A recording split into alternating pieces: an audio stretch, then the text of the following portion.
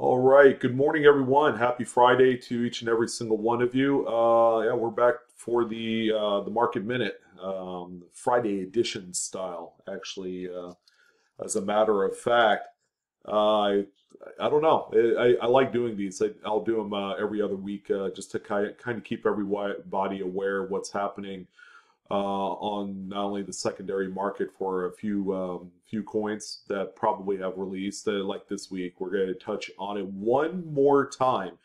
The V75 and end of World War II coins that came out in, within the last 10 days from the U.S. Mint. Everybody wants to know where these things sit at, and um, uh, just kind of, I guess, road mapping, projections, that sort of thing, where it's kind of tough. You know, it can be tough. Uh, I mean, there are a few uh, few things in the marketplace that could certainly alter the future marketability investment potential for some of these coins, but I'll give it my best shot. What can I say?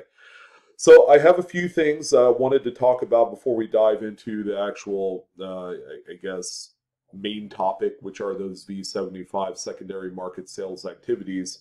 Uh, first and foremost, we got the Blue Ridge Silverhound uh, holiday giveaway that will be launching this Sunday, November 15th. Yep, I knew it. Nailed it.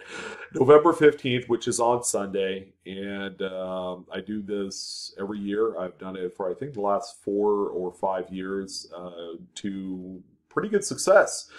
And uh, this year, we are continuing the tradition. Now, everybody needs a little bit of kind of like that light at the end of the tunnel for 2020. And hopefully, hopefully, this will be uh, a small component to what we're about ready to see to cap off this very tumultuous year for a lot of people. So I want to thank each and every single one of you for hanging tough, uh, not only on my channel, but the collective coin YouTube, I guess, uh, community uh, as we continue to forge on, you know, to a, uh, a very, very um, successful and a very interesting 2021 coming up here.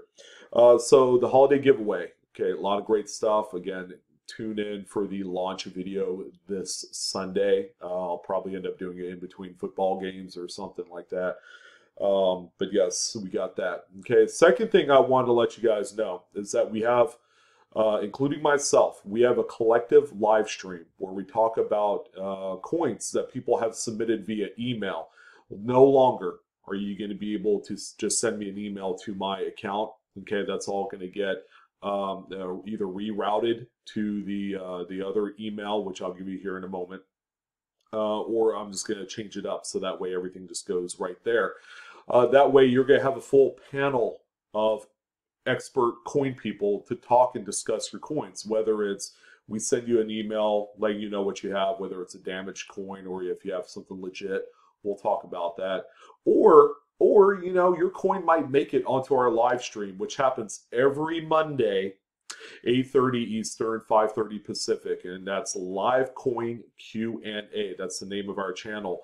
I'll actually probably put the channel uh, link down below so that way you guys can go over and uh, subscribe and go ahead and check out our uh, our Monday uh, streams, which we do again every Monday, 8:30 Pacific, 5:30 or 8:30 Eastern, 5:30 Pacific. Sorry, I didn't mean to confuse you. I confused myself for a second. And it's just not like me. Well, actually, uh, it, it happens with old age, I guess. Uh, so live coin Q&A, you get to meet the other panel members too, all in which have their own separate YouTube channel. So you're gonna have a lot more friends here coming up. If you have coin questions, I personally invite you to send them on over to our email, email info at livecoinqa.com. All right, and that's info at livecoinqa.com. And then we will go ahead and take care of it for you. Usually you'll get an answer uh, within that week um, because we're, we're usually setting up for the Monday show. So more than likely you're, you're, you are going to get an answer to the questions. If you're going to submit photos, just make sure they're nice and clear. You have a full picture of the front of the coin and the back of the coin, in addition to any close-ups that you could get into for the um, diagnostics and the variety and the error that you are questioning. Okay, so go ahead and check that out as well. So let's go ahead and dive into what the silver and gold market is looking like for the day, and we are on coinflation.com. Uh, it's one of my favorite sites. Plus, they give you little articles and stuff about things to uh, get you pumped up uh, from the market. But as we can see, we have silver is currently up 38 cents. Let me go ahead and give this a little refresh. Uh, no, okay, so it's up 40 cents to $24.70. Gold is up $14.39 to 18.91 and 89 cents. Uh, we've seen a couple uh, pretty uh, sharp drop offs earlier in the week of both silver and gold as the markets went up. Um, and uh, looks like silver has rebounded quite nicely. It was down about buck 50 or so on that day. And then gold had dropped off uh, like, uh, what, 90, 100 bucks, somewhere around there. I believe that was either Monday or Tuesday.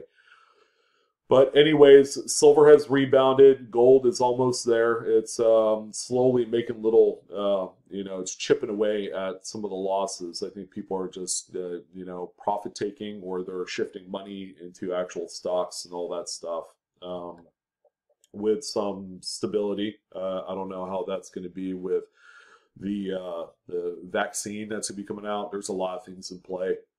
We're not going to get too far into that uh, that could be a conversation for another time. But it, it's nice to see that you know we're beginning to make headway toward this uh, COVID nineteen mess uh, that's been just ravaging the country.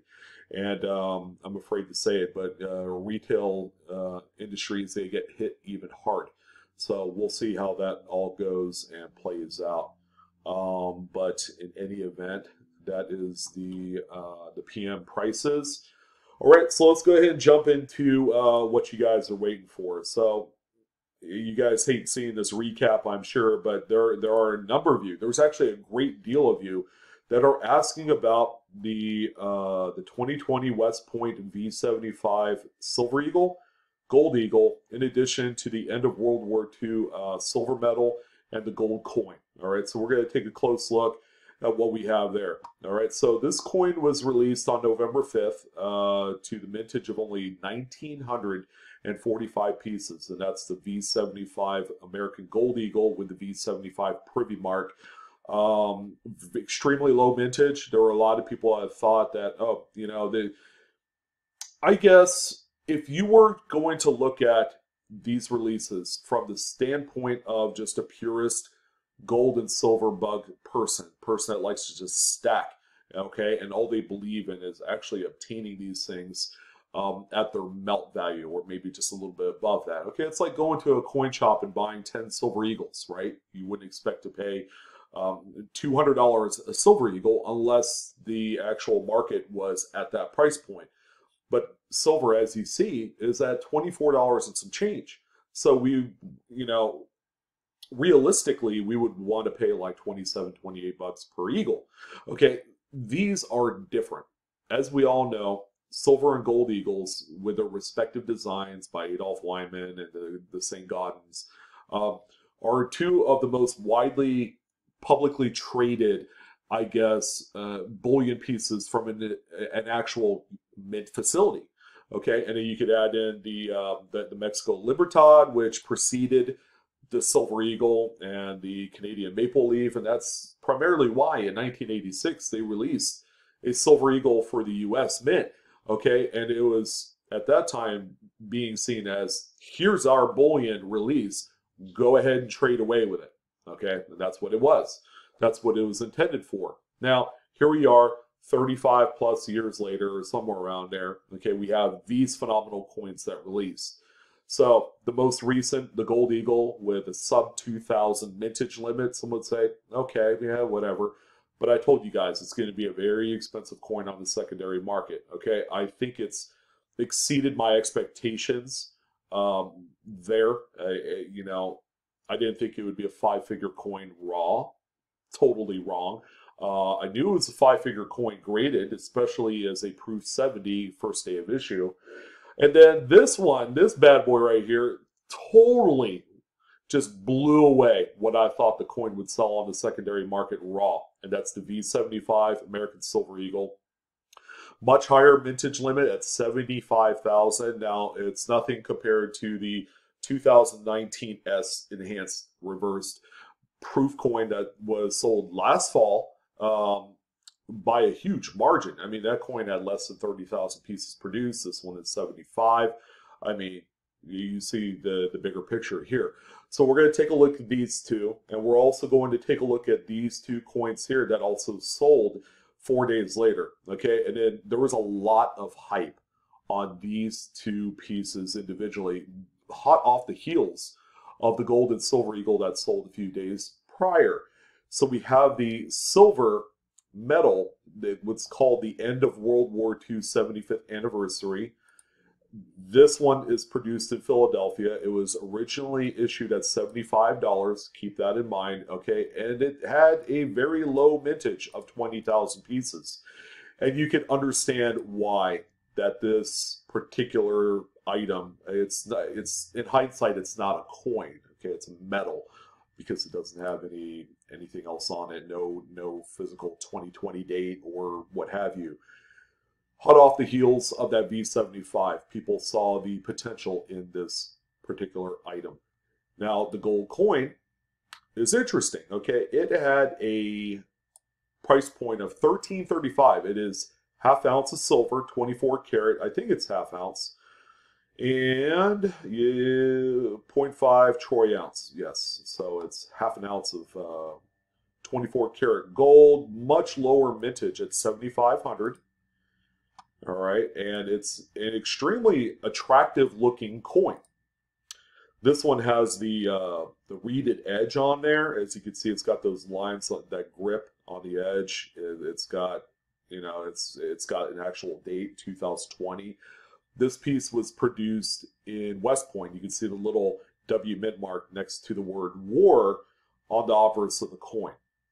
So this is the other one that, uh, don't get me wrong, both pieces sold out right away. Within an hour, the websites crashed. It was pandemonium. It was anarchy all the way around, and um, a lot of pissed off clients as a result. Now, I will tell you this: the U.S. Mint after the release of the V75 Silver and Gold Eagles, had posted something on their Facebook page, just trying to get an overall temperature check of how people liked or disliked the checkout process. It's been crazy. And if you read through it, man, there were a lot of people that missed out, a lot of extremely upset customers as a result of how this all kind of shook down. I was successful in obtaining one of the V75 Silver Eagles. And that was it. I was not interested in either the silver medal end of World War II or the gold coin that was also released at the same time. But we are also going to take a look at the secondary market values of all four of these pieces respectively. Okay, and that's where we jump into the uh, the eBay listings, and we're just gonna kind of like go on down the line. Okay, so we're not going to look at too many live listings. People are asking anywhere from five to six hundred dollars for a raw coin with confirmed shipping. Now, I received my coin today. I'll probably do a reveal video later on. I'm not sure. Um, still undecided if whether or not I'm going to send that off to PCGS, but if I do, someone there are a number of people interested in seeing how that process works. I'd be more than happy to do that. But we have this one here, which is six days out. That is already up to $495 with $8 shipping. As you can see, it's got a picture of the actual box on there. Uh, but I'm really interested in seeing sold items that are most recent. And as you can see, sales are extremely robust. Again, it blew away my personal expectations on what I felt like the secondary market would do on the Silver Eagle especially in raw form. I figure all of the value would come when it's graded, like a Proof 69, I feel like should be five to six hundred dollars. A Proof 70, I thought would be about eight hundred dollars, just based off of vintage figures and previous performance data. So what I see here is a coin with a lot of staying power, and 10 days after release, for this coin. It, just about 10 days. I mean, that coin was released on the 5th. Today's the 13th. So eight days. Eight days after release, we're still seeing strong sales, if not simply a little bit better sales than what we've seen. All right, so we've seen some best offers come in. I, I, this one right here was kind of a steal, if and only if. You know, it may not show anything as in regards to uh, an actual confirmed shipment, but you see order shipped. The the orders that say order shipped on eBay have been performing a little bit better, about 10% better than those examples without it. And then, of course, we see graded examples starting to sprinkle in there, some pre-sales, keeping in mind that there are a few of these that are currently at NGC and PCGS. So we're probably, these folks are probably maybe 10 to 14 days away from actually getting the coins back and being able to send them to the clients. So this is $1,000 for a Proof 70 in an NGC slab. As you can tell, five to six hundred dollars. It used to be that this was right around 450 to 550, so it's increased a little bit. My feeling is after a while, this particular coin right here will begin to kind of flatten out and then dip a little bit. I could see this possibly dipping down to maybe four 450 after a while after things have died down on it. Okay, there's still so much buzz even eight days after the release of the coin. So that's where we're at right here. And here's a PCGS Proof 70 decamp uh, for $1,300. And that's a pre-sale. So that's where the uh, Proof 60, uh, Proof 70s, uh, sorry, are heading to. So let's go ahead and add gold. Let's take a look at what the, the low mintage gold pieces look like. And uh, there you go. So if best offer was accepted yesterday from $14,000. And I can tell you that these have been selling for between 12 to 13. They were coming in hot after release upon a confirmed mint order for around eight to ten thousand dollars, like I had mentioned in a previous video. Uh, here's one that sold for twelve five in hand. Keep in mind that's the, that's the key. It's either got to be confirmed ship or in hand to get all of the money. If you don't have that, then you are not going to you know see anything come from it. Uh, we got 12-1 because at this point, a lot of the coins are in people's hands. Folks have ordered this particular coin and have paid for the expedited shipment. So that's where a lot of the much stronger sales are starting to come in is with a confirmed order or a physical in-hand product. So we're seeing 12, 12, 6 here. Okay, this one is a local pickup option only. Here's a batch deal. We'll get into that later. Here's another gold for 11. 121, 11,620. That's on November 10th.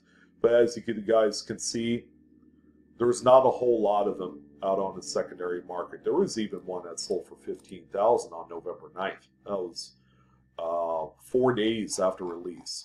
All right, so very, very hot. We're looking at five times issue price. That that was a coin that was released at twenty six hundred dollars, which is cheap and a huge flip opportunity. Now let's go ahead and check out the end of World War uh, Silver, and then you guys get to see. Now remember, this was a coin that was issued at seventy five dollars. If you obtain one, you can make hundred dollars. Now you got to keep in mind you got to back away some of the fees. Uh, uh, eBay's fees of seventeen dollars and fifty cents off of the sale. Okay, it's free shipping. You have throw shipping in there, and if you are accepting PayPal payments, that's another three percent. So it's like it's whittling down. At the end of the day, this person is probably making sixty dollars because you also have to factor in shipping on the US Mint side of it too, because that's five bucks if you went with the cheapest rate. But the coins have been uh, flim flamming all over the place. Uh, they, they, were selling in uh, pre sale wise for like four or five hundred bucks, much like the V75 Silver Eagle, but these have dropped down considerably. And it's very predictable. Okay, I had said that these coins right out of the gate would start off strong and then they will plummet for the mere reason that these are seen in the same kind of category as commemoratives. Commemoratives don't have that punchy secondary market. They never will, they never have, and it it's going to continue on for the rest of its days. Only because commemoratives are just not popular. They're way out of favor. They're overproduced. I would say the last 20 years of commemorative issues and designs have been lackluster at best. Okay, not taking anything away from the actual uh, uh, the the um, the subject, you know, like the Boy Scouts and all that great stuff, because those are all worthwhile causes. But at the end of the day, people just don't see these as a as a future investable collectible, and they never will. So uh, yeah, here's another one for 150 dollars. Talk about barely squeaking in with a little bit of profit. And at that point, it's really not all that worth it if you're just getting into it for $40 profit. So as you can see, just uh, just incredibly low standard of profit taking there. Let's go ahead and take a look at the gold. And we will see that, remember, this has an issue price of $1,335. Here's one that sold for 1600 bucks in packaging in hand. Where's the profit? You'd be lucky to make about 100, 150 bucks profit on that by the time you factor in fees because the fees off of eBay alone on this is 160 bucks. That's a lot of money. And if you take that away, you're at 1440. $1,440. That's $105 of profit. And then it's free shipping. And then you got to factor in whatever shipping costs that you had paid initially to have it have it sent over to you. In this case, they probably expedited it and paid like the 15, 20 bucks for uh, overnight shipping. As you can see, there's virtually no profit in any of these coins. Like I said, I, I knew that was going to happen, and uh, it was no surprise. So I'll pat myself on the back for that one, and that is primarily why that I lay off coins like this. There are people, there are scores of people that had reached out to me uh, through my uh, my comments on the videos talking about these type of coins and have said, no, it will sell for a lot of money. It's got a low mintage. I'm like, you don't understand. I've been tracking and trending these type of coins, these type of products for over 20 years. Okay, if it if it looks like a duck and quacks like a duck, more than likely it's a duck. And I tell you what, it's a beautiful coin, but I saw it coming, guys. Your only real shot at making any sort of money on these if you, is if you sent them out to PCGS and hope that you get a proof 70. You probably double up your money, maybe double up your money on something like this. I wouldn't put all my eggs in one basket. There are people that just don't like grading um, because of the, the extra expense that's involved or having to wait for your coin to come back. People are very right now people. They're spur of the moment. This is a coin right here that is 100% spur of the moment profitability. And if it's not there, people get kind of salty towards stuff like this. All right, so as you can see, it's just continuing to drop. I mean, we're at $1,700 you know, uh, best offers pouring in. This one's 1900. I mean, that one's pretty decent, but you know, uh, you know, these are coins that can be returned. they can be unwound for any reason. It, it can be something as dumb as like I changed my mind, but there you go. Uh, the prices are still dropping. Okay, we were at 17, 1800 dollars. We're at 1600 you're going to see this continue to drop close to issue price because it just has no secondary market punch. So, and personally, I wouldn't hold on to them. That's a long-term investment. Commemoratives always tend to get lost in the mix. Okay, even a year after release, people won't care about this anymore. The silver and gold eagle that was released on the 5th, they will continue to care about those. Okay, that's why the 2019S enhanced uh, silver eagle that sold with such fanfare last year continues to be a wildly expensive coin because it's a silver eagle. They're collectible. All right, it's outside of the actual silver component of it. It's a collectible, and it's going to be a long-term investing gauntlet. So that's that.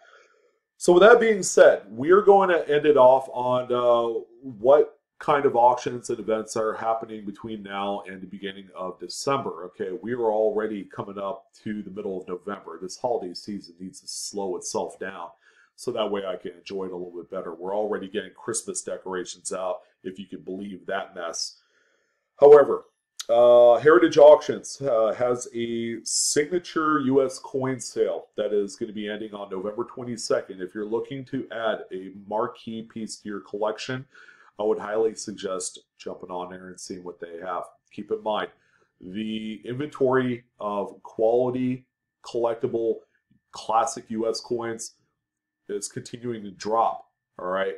Um, as inventory begins to drop, there's less quality out there. Okay, so people are buying second rate, third rate, fourth rate tier coins, and you just don't want to get yourself in a position of owning a turd all right, if you know you're going to sell it two years later down the road, because the inventory will pick up eventually once the economy gives itself a boost. And this is all after COVID is over and done with. I'm looking forward to that.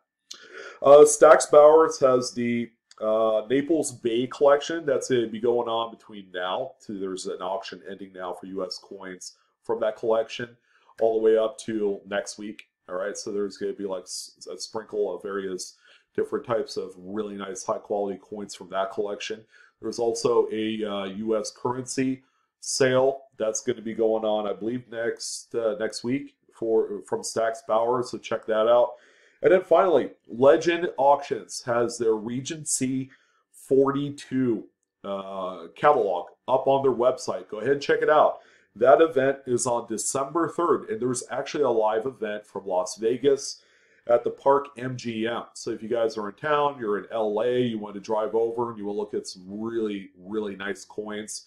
The Legend 42 uh, or Regency 42 auction from Legend Auctions will be in town on December 3rd with the live auction. So go ahead and check that out. But ladies and gentlemen, that's going to go ahead and do it for this edition of the Friday Market Minute. I'm your host Sean with Blue Ridge Silver Don't forget to check out live coin Q&A uh, channel. That's a panel that I'm a part of for the live stream once a week. And uh, send us your coin questions. Info at livecoinqa.com. I look forward to seeing you guys there on Monday night. You guys have a phenomenal weekend. Stay tuned for the PCMR report, which will be launched, I believe, tomorrow morning. And uh, that's going to do it. So you guys have fun. Enjoy the hunt. If you guys are doing some roll hunting, it's a lot of fun, and uh, inventory is beginning to loosen up out there. I have a few banks that actually have rolls and boxes available, so maybe I'll do one of those this weekend as well. And uh, Sunday is the uh, the Blue Ridge giveaway event. Uh, stay tuned for that as well. It's going to be a packed weekend, ladies and gentlemen. Have a good one. And uh, Coinaholics, we're discovering together. So I'll see you guys next time. Take care.